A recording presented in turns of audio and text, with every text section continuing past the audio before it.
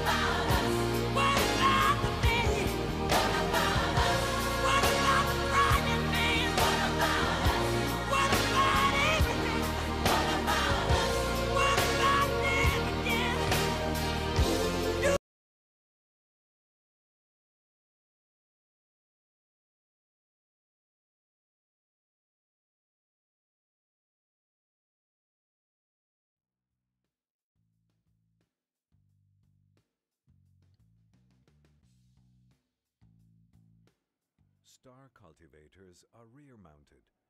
The guide wheels are used to adjust the height and for lateral steering. A second person is needed for precise steering. The soil is initially loosened by goosefoot or pointed shanks.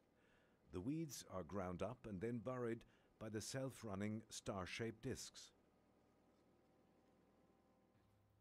De voordeel is uh, The device works The the well 500 all millimeter long and 8 millimeter thick tines are fixed to the tension springs. The 90 degree angled tine tips penetrate the soil surface in a relatively shallow manner. The advantages are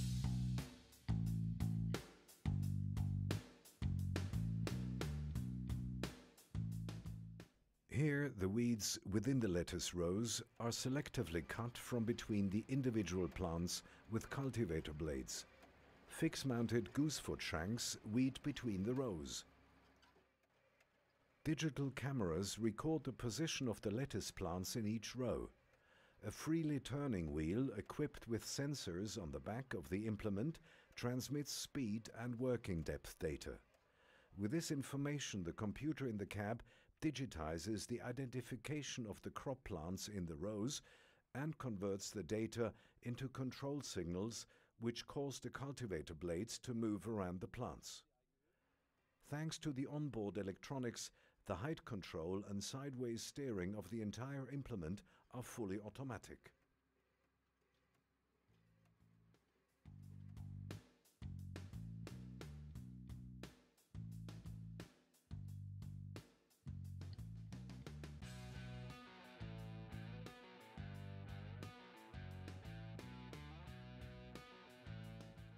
Cultivators like this one from Schmotzer are constantly being improved. The cultivator is automatically controlled and can be operated by one person. A hydraulic cylinder moves the equipment carrier frame to the left and to the right.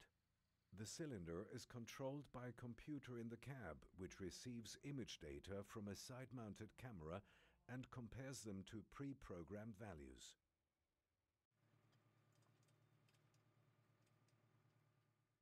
It is being used in beans with 50 centimeters row spacing. Three goosefoot shanks per equipment carrier are mounted on flex tines. Heavy as well as light soils are thus ideally worked.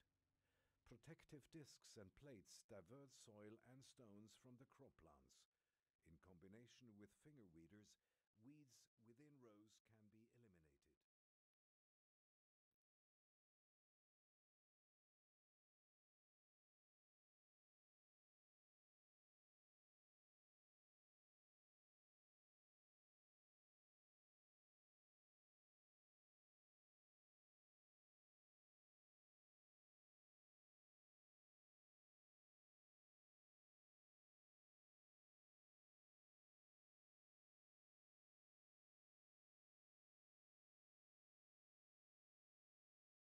weeder. The weeds are simultaneously chopped up.